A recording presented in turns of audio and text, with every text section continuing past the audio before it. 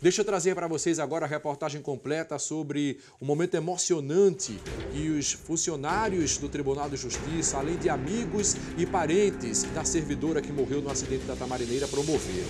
Foi uma homenagem que contou com a distribuição de rosas para motoristas que passavam ali nas proximidades do fórum e também com um, é, um momento muito bonito em que balões, bexigas brancas foram soltas dentro do Salão Nobre do Tribunal de Justiça. Vejam aí. Esta foi a sala onde Maria Emília trabalhou por quase uma década. Na mesa onde ficavam os processos analisados por ela, agora tem um buquê de rosas enviado pelo marido. Do lado de fora do edifício, Paula Batista, amigos e colegas de trabalho se reuniram num ato que homenageou a servidora e pediu paz no trânsito.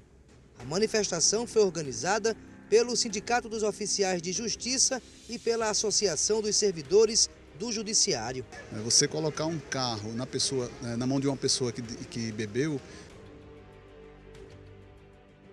Deu uma travadinha aí, não foi? Deu uma travadinha. Essa é a mesma imagem do começo. Fala o seguinte, volta para a cabeça, vê se a gente solta aí ele desengancha. E vai agora.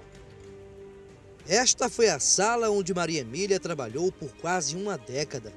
Na mesa onde ficavam os processos analisados por ela, agora tem um buquê de rosas enviado pelo marido. Do lado de fora do edifício, Paula Batista, amigos e colegas de trabalho se reuniram num ato que homenageou a servidora e pediu paz no trânsito. A manifestação foi organizada pelo Sindicato dos Oficiais de Justiça e pela Associação dos Servidores do Judiciário. É, você colocar um carro na, pessoa, né, na mão de uma pessoa que, que bebeu é mesmo que você colocar um fuzil carregado na mão de um assassino compulsivo. Precisa conscientizar e não permitir de forma alguma que nenhum parente ou amigo nosso pegue a direção estando alcoolizado. Um grande círculo foi formado e os participantes fizeram orações. A cantora Cristina Amaral também participou do ato.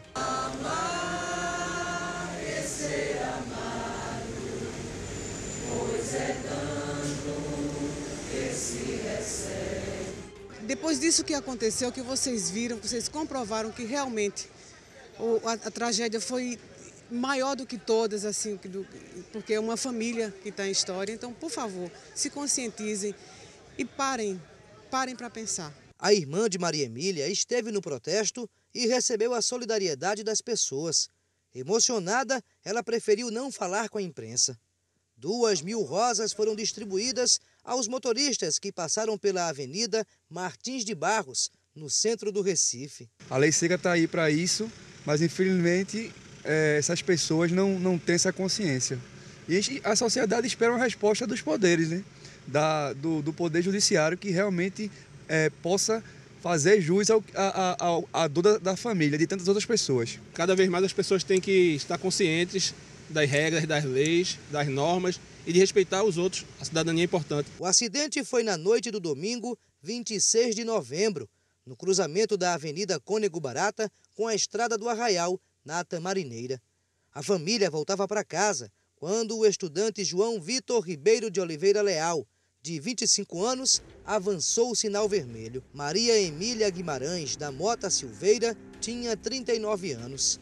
Além dela, o filho, Miguel Arruda da Mota Silveira Neto, de 3, e a babá da criança, Roseane Maria de Brito Souza, de 23 anos, também morreram. O marido de Maria Emília, o advogado Miguel Arruda da Mota Silveira Filho, de 46 anos, e a filha mais velha do casal, Marcela Guimarães da Mota Silveira, de 5, sobreviveram. Eles permanecem internados num hospital particular.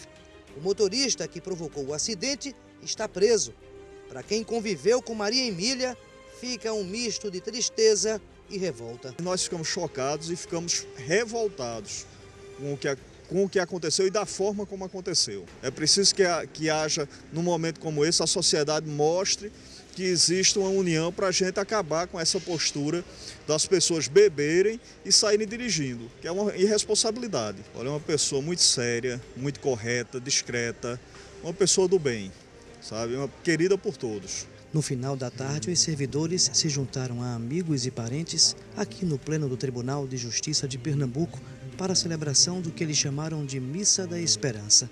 A cerimônia contou com a participação dos pais de Maria Emília. Eles sentaram na primeira fila. O coral dos servidores acompanhou a celebração. Por fim, dezenas de balões brancos foram soltos na área central do Tribunal de Justiça.